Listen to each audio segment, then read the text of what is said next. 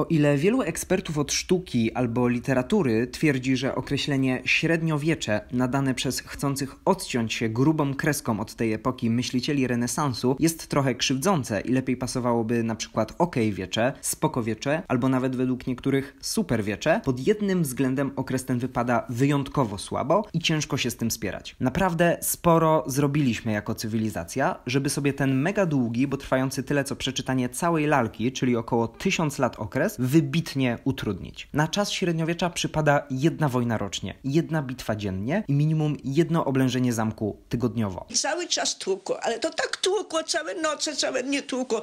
Taki... Tak jak dzisiaj ludzie sukcesu budzą się o wschodzie słońca i ruszają na siłkę, żeby zachować bystrość umysłu, tak samo średniowieczny władca nastawiał budzik na 4.30, a o 5 rano już gorączkowo wertował mapę królestwa w poszukiwaniu kogoś do pobicia, albo przynajmniej do zgrabienia. Klęski głodu były tak częste, że jak trafiło się w jakiejś części Europy lato bez suszy, to przez kolejne miesiące wszyscy chodzili jak ktoś wracający z imprezy o trzeciej w nocy, kiedy na horyzoncie pojawia się grupa pięciu rycerzy zakonu świętego Sebastiana, przemierzająca okolice w poszukiwaniu laczka świętego przymierza. Średniowieczne rządy radziły sobie z wybuchającą co kilka lat epidemią w podobny sposób, jak licealista radzi sobie z przeczytaniem lalki, czyli odgradzali się od niej kilkoma pomieszczeniami i udawali, że nie ma tematu. A jak przychodził ten najważniejszy sprawdzian, na kolejne lata zostawała z reguły około połowa osób.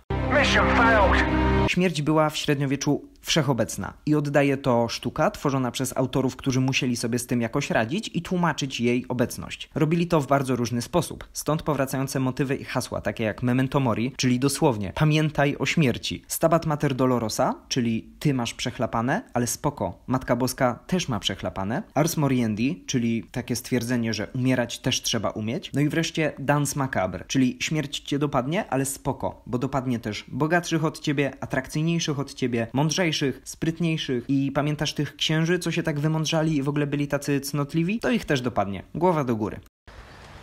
To mi się podoba. O to chodzi. Trzeba było takiej literatury i takiej sztuki, bo inaczej wszyscy by po prostu zwariowali. Chociaż chyba nie udało się tego uniknąć, bo jedną z najbardziej lansowanych i najszerzej opisanych w literaturze tego okresu postawą, wzorem postępowania jest asceza. Asceza czeka cię na studiach. To wyrzeczenie się dóbr, korzyści, godności i minimum komfortu, które może posiadać człowiek w poszukiwaniu równowagi duchowej i nagrody w następnym życiu. Asceza chrześcijańska to droga wyrzeczeń, która prowadzi do doskonałości. This is a process. It's a process. It's a process. Okay? Najdziwniej na świecie, ale też chyba najbardziej dobitnie, ten fikołek psychologiczny obrazuje legenda o świętym Aleksym. Opowieść o bogatym gościu z bardzo dobrymi perspektywami, który zamiast zmieniać tą okropną rzeczywistość, która otaczała ludzi w średniowieczu, chciał żyć jak biedny i został później nawet za to nagrodzony w niebie. Matko Bosko, mówię, co to, co, co to się stanęło? Ale jakby ktoś uparcie próbował się wyłączyć, niczym licealista w trakcie omawiania lalki i nie docierała do niego wszechobecna beznadzieja, z pomocą przychodziły inne motywy, będące absolutnym fundamentem średniowiecznego poglądu. Średniowieczne teksty na każdym kroku przypominają człowiekowi, że jest grzesznikiem, że niczym polski rząd nie potrafi podejmować racjonalnych decyzji i jedynym sposobem na wartościowe życie jest podróż do wnętrza swojego serca, wyzbycie się grzechu i odkupienie wrodzonej winy. Kultowe teksty, takie jak Boska Komedia Dantego, przypominają ci, że jesteś wart tyle co magisterka po AWF-ie albo rial irański i dopóki nie wyzbędziesz się grzechu, to twoje życie ma tyle sensu co obietnica wyborcza albo praca ratownika wodnego na olimpiadzie w Rio.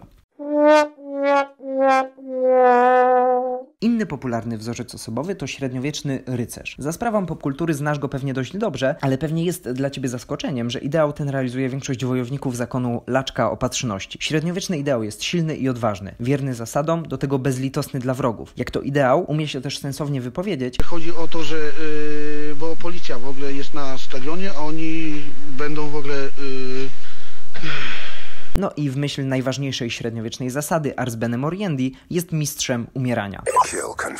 Tutaj mega szacun. Oddawanie życia za Boga, kochankę albo ojczyznę to, tak jak już powiedziałem, klucz do zrozumienia średniowiecza. Dlatego ideał rycerza albo ogólnie średniowiecznego władcy to właśnie przesłanie równie bezsensowne co asceza, a może nawet bardziej. Tutaj już sam musisz ocenić. Ten, kto nie boi się śmierci w imię ideału, ma zagwarantowane miejsce w niebie. Właśnie tego było trzeba ludziom w średniowiecznych realiach. Powodów do umierania.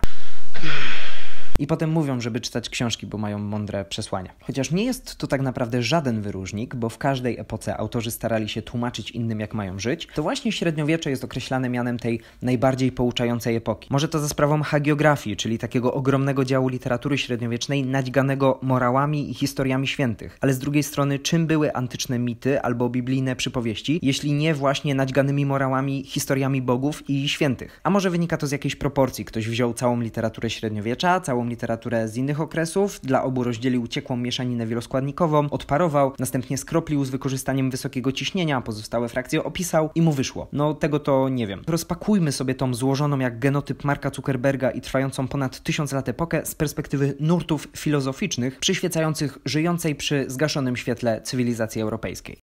Wiecie, że wieki ciemne, zgaszone światło, hehe. Na pierwszy ogień tomizm. Jak na tamte czasy, prawdziwa awangarda. Człowiek ma narzędzia poznania i dysponuje nimi tak jak chce. Piękno jest kluczowe dla naszego życia i każdy po swojemu powolutku dąży do jego osiągnięcia. Brzmi to całkiem dobrze. Gdzie jest haczyk? Z reguły skuteczność tych działań, czyli dążenia do piękna, jest podobna do skuteczności postanowienia pozostania w czystości przez niewykastrowanego królika. Dlatego święty Tomasz, guru tomizmu, stwierdza, że potrzebujemy Boga jak swoistego drogowskazu. Potrzebujemy go jak uczeń odwołania pierwszej lekcji, jak królik kastracji jest też augustianizm. I tutaj ciekawa sprawa. Święty Augustyn to jest taki średniowieczny fit. Praktycznie nie można znaleźć jakiegokolwiek łacińskiego autora średniowiecznej filozofii, który by nie zapożyczył czegoś z Augustyna. Wynika to w dużej mierze z tego, że augustianizm przenika się powiedzmy z taką mainstreamową nauką kościoła, albo może mainstreamowa nauka kościoła z augustianizmem. W augustianizmie mamy dość jasny podział i hierarchię. Jest Bóg, i jego stworzenia. Jest dusza i ciało. Święty Augustyn mówi, że bez duszy jesteś jak obiad u babci bez rosołu, albo polska plaża bez parawanów, albo komputer do nauki bez zainstalowanego i chodzącego na pasku Wiedźmina albo Simsów. Brakuje ci najważniejszego elementu. Na koniec warto zwrócić uwagę na franciszkanizm, czyli nurt rozpoczęty przez XIII-wiecznego hipisa, czyli świętego Franciszka z Asyżu. Franciszek na początku swojego życia był materialistą i karierowiczem, ale niczym maturzysta na dwa miesiące przed egzaminem fundamentalnie zmienił swoje podejście do życia i na pierwszym miejscu umiejscowił Boga. Franciszkanizm to w sumie asceza z dodatkiem Grety Thunberg, więc nic, co dalej powiem, nie będzie miało sensu.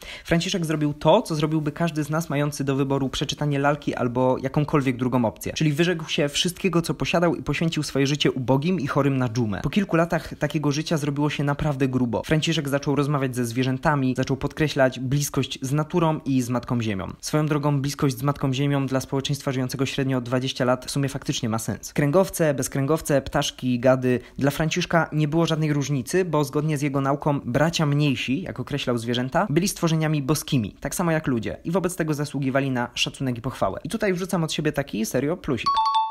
To są te trzy najważniejsze nurty filozoficzne, które jeśli masz iloraz inteligencji równy desce do krojenia lub większy pewnie doskonale widzisz, całkowicie się wykluczają. Raz ci mówią, że masz wolną wolę, a raz, że bez Boga i jego instrukcji to ci się nawet Windows nie zaktualizuje.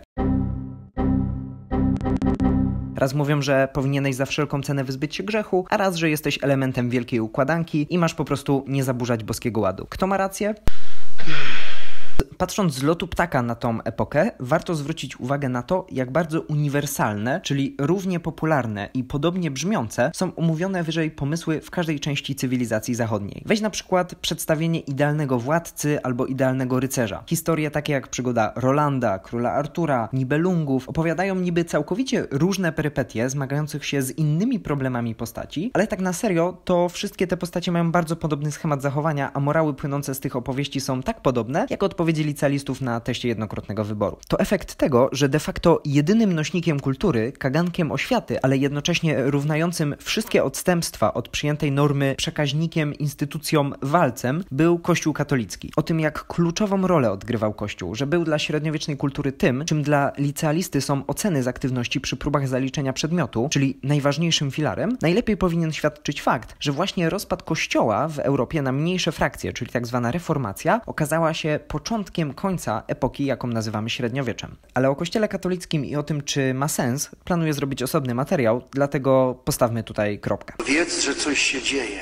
O ile można śmiało powiedzieć, co zresztą zrobiłem w materiale poświęconym antykowi, do którego serdecznie Cię zapraszam, że to właśnie tamta epoka dała początek większości rzeczy, które obserwujemy w świadomości kultury cywilizacji zachodniej, o tyle w kontekście naszej, polskiej kultury, to zaszczytne miano kamienia węgielnego trzeba oddać właśnie epoce średniowiecza. Nasz kraj od XIX 1966 roku zachowywał się jak licealista w trakcie omawiania lalki, czyli siedział schowany tak głęboko, że co jakiś czas reszta zastanawiała się, czy w ogóle istnieje. I kopiował rozwiązania przyjęte w innych miejscach, dodając co jakiś czas jakieś swoje wyjątkowe, jedyne w swoim rodzaju akcenty, jak na przykład turbo skomplikowana odmiana przez przypadki w trakcie rozwijania własnego języka, albo niezrozumiałe dla zupełnie nikogo lamenty i pieśni, takie jak na przykład Bogurodzica, której autor wstydził się tak bardzo, że aż zdecydował się nie podpisywać swojego dzieła. Swoją drogą była to dość popularna praktyka i z perspektywy czasu wydaje się to być całkiem zdroworozsądkowe. Niby ci wszyscy autorzy podkreślali, że nie podpisują się ze względu na to, że tworzą na chwałę Boga, ale wszyscy wiemy, że zdawali sobie doskonale sprawę, że przyjemność z czytania większości tych tekstów jest podobna do przyjemności z nadepnięcia na klocek Lego albo skasowania biletów komunikacji miejskiej. Średniowiecze było takim okresem dojrzewania. Konieczne dla dalszego rozwoju, ale pełne błędów, nietrafionych pomysłów i ideałów, które czekała jeszcze niejedna weryfikacja. Człowiek w średniowieczu był przekonany, zresztą bardzo słusznie, że coś jest z nim nie tak. Nie ogarniał świata dookoła niego, a odpowiedzi na nurtującego pytania poszukiwał głównie w Bogu. W taki właśnie sposób przebiegała epoka z jednej strony pełna pokory i ciemnych barw, niczym sułtanna księdza Natanka, Wiedz, że coś się dzieje. a z drugiej strony pełna uniwersalnych prawd i jasna, jak Audi A6 ojca dyrektora. Co by o niej nie mówić, jest to jednak dość ciekawy przystanek na drodze do współczesności. No i między innymi dlatego, że za sprawą późniejszych epok średniowiecze zyskało bardzo złą opinię, wydaje się dość ciekawym miejscem do tego, żeby sobie wrócić i po prostu zastanowić się, na czym polegały dylematy, które dalej są obecne w naszej kulturze.